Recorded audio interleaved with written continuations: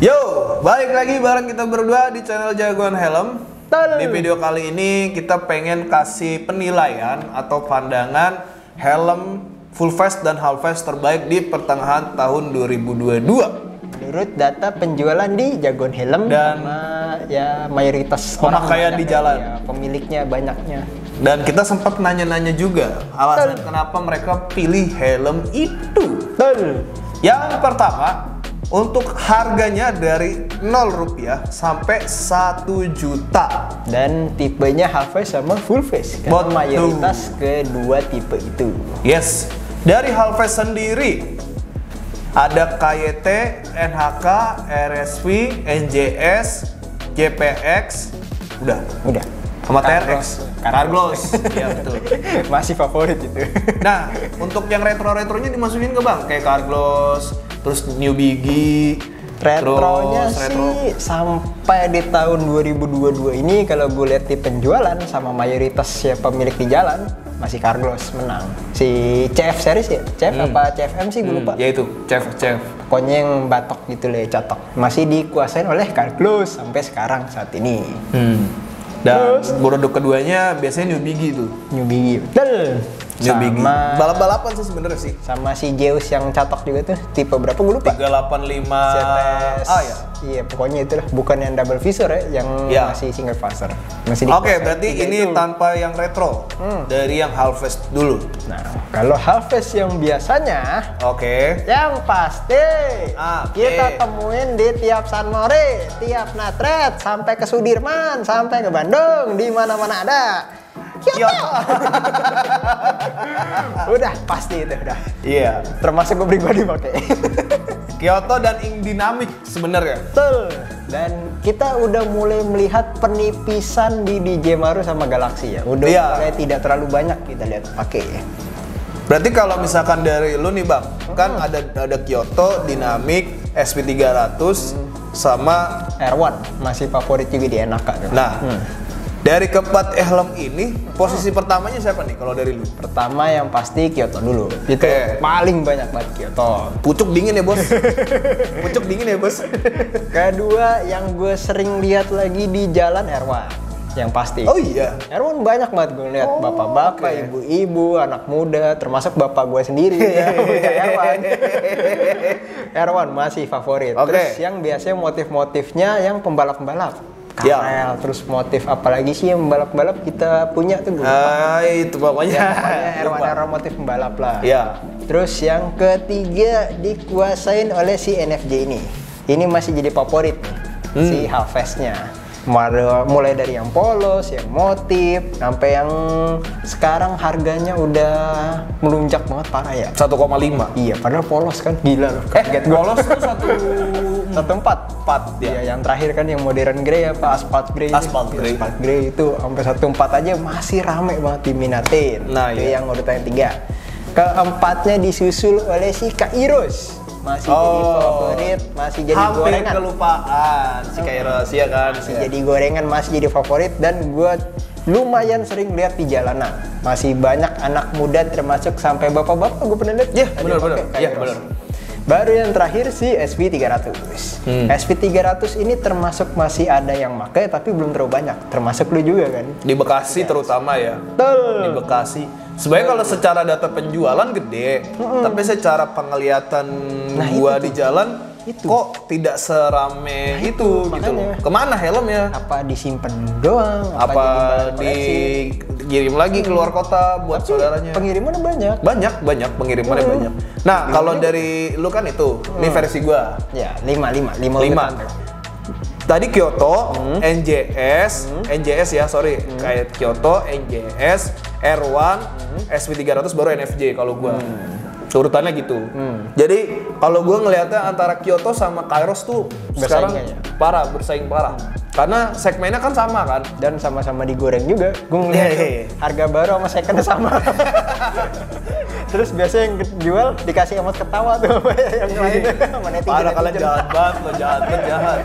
Ya wajar sih kalau kata gue karena unitnya juga nggak susah. banyak, ya rebutan, unitnya nggak banyak, makanya ibaratnya second sama baru ya beda tipis lah, wajar lah guys ya. BNOB gitu-gitu bahasanya tuh. Lanjut, Nah, kalau buat yang baru-baru gimana nih bang? yang baru-baru gimana Kayak tuh? S1 GP Pro, kayak kayak The City, itu gimana Ini belum nasibnya? kelihatan nih, karena mereka kan baru banget launching. Iya sih. Unitnya belum banyak, makanya kita lihat saja nanti. Karena biasanya awal-awal awal-awal launching tuh bisa sampai 3 4 bulan tuh pasti masih yang kayak begini banget. Masih yang dipucuk Ya Bang. kita tunggu tiga bulanan lah, baru kelihatan nanti. Ntar ntar di akhir tahun. Di akhir tahun. Iya, iya. Soalnya gue sampai detik ini, serius gue belum pernah lihat di jalan yang pakai S1. Setuju. Belum, belum. Karena mungkin unitnya masih dikit juga, Gi. karena baru launching, wajar. Karena Kita kemarin datang berapa? 7. 7 biji ya? Ah. Habis kan? Iya. kita baru dapat 7 loh. Sejam. Iya, kita baru dapat 7 biji doang. Sisanya nggak tahu. Lakunya di Shopee lagi. Ya. itu dia guys. Unitnya belum banyak, makanya kita belum pernah lihat di jalan ya. Karena masih baru. Oke. Dari Halfest tadi segmennya Bang Radit seperti itu, segmennya gue seperti itu. Sekarang baru yang full price-nya. Tak dulu. Apa? Alasan dari 5 itu apa? Alasannya. Ya itu tadi penjualan sama jumlahnya di jalanan. Oh. Sebanyak apa yang pakai. Mungkin karena bentuk juga kali ya dari 55 Ya, itu yang makanya jadi rame ya. Hmm, betul betul. Oke. Kenyamanan. Sekarang kita ke full face. Face yang 0 sampai sejuta. Iya, 0 sampai sejuta. Kalau dari yang paling bawah, Ya, gantian dulu. kalau yang dari bawah gue vote KYT RC7. masih nomor satu ya. Iya. Nggak ada lawan. Gak ada lawan itu, Bos. Kita aja sampai sekarang penjualannya paling gede. Iya, masih tinggi itu RC7. Dari budget pelajar terus full face RC7 kita RC7. laku banget sampai sekarang. Lu tau gak bang kenapa RC7 lebih lebih lumayan didominasi daripada R10? Kenapa tuh? Batoknya lebih friendly, Iya bentuk sih, betul. batoknya. Betul. Karena kalau R10 banyak yang mengeluhkan kayak terlalu neken, pakai kacamata sakit. Kupingnya nggak enak. Iya, R7 tuh lebih friendly dibandingkan R10. Iya, Padahal R7 tuh seri yang sebelum R10. Mm-mm. Dan lebih terjangkau kan? Iya. Malah lebih enak. Iya. Juga kita. Iya. Ya itu. Terus Kedua itu gua vote INK Chelmex. Betul. Iya, masih banyak yang tuh. Dan penjualan kita masih sampai sekarang kan. Sayangnya belum ada pembaruan lagi ya dari Terakhir INK yang ya. itu yang motif batik. Aduh, Iya. seri berapa sih? Gue lupa. Yang ada Dove sama glossy-nya kan. Nggak, mas- dua-duanya Dove, dua-duanya. Oh ya, maksudnya belum ada kayak facelift-nya lagi loh, kayak pembaruan fitur-fitur gitu-gitu Chelmex. ya kita lihat saja nanti di pihak INK emang udah lama nggak ngeluarin tipe baru si INK Betul, kita lihat INK. nanti. terus Ketiga itu dari NHK gua votingnya RX9. hmm RX9. iya masih favorit tuh sampai sekarang Iya, Sampai- karena kalau GP 1000 pertama batoknya masih terlalu agak bulat. Dan banyak yang ngeluh lumayan berat kan waktu dipakai. Betul, Kayak gitu dibandingkan RX9. betul Nah, terus dua teratas itu kalau gua voting di Kairos. hmm Eh Kairos, ZX1. ZX1. Terus yang terakhir Nah, terakhir nih gua agak gambling nih. kenapa tuh Ada dua sebenarnya kalau gua dua. apa tuh Titik sama GP Prime. Course nanti kita masukin ke sejuta ke atas aja Berarti udah. GP Prime. Berarti GP Prime. oke Karena segmennya beda sih sebenarnya GP Prime sama si Kairos. Eh Kairos lah, Titik. Sorry sorry guys, Titik iya dari secara fitur juga beda sih ya Ah, ah. dari bentuk juga kan GP Prime buat men apa mengakomodir badan-badan yang gemuk iya betul gitu. oke Dari lo Kalau gue sama kayak lu, urutan nomor satu masih sampai sekarang RC7. the one and only. Penjualan sama banyak yang dipakai di jalan masih RC7. Oke. Kedua, kalau kata gue keduanya RX9. Gue sering Oh. banget lihat orang pakai RX9 di jalan. Hmm. Karena pertama motifnya bagus, dipakai nyaman, terus pada bilang enteng, enak dipakai lama. Iya. Sampai ada yang pakai touring juga banyak cuma. Iya. Gue pakai touring mah enak, pakai touring enak. Ketiga, kalau kata gue dipegang sama si Zeus 811. Oh, Sampai oke. sekarang pun masih rame banget yang beli. Hmm. Apalagi sekarang udah ada updatean, udah flat juga. Hmm. Makin digoreng lagi nih. Sudah mulai eksis lagi Zeus. Sudah tidak mau ketinggalan data mereka nih. Mulai Ah. memperbaruin seri mereka. Terus keempatnya kalau kata gue masih dipegang sama si Falcon.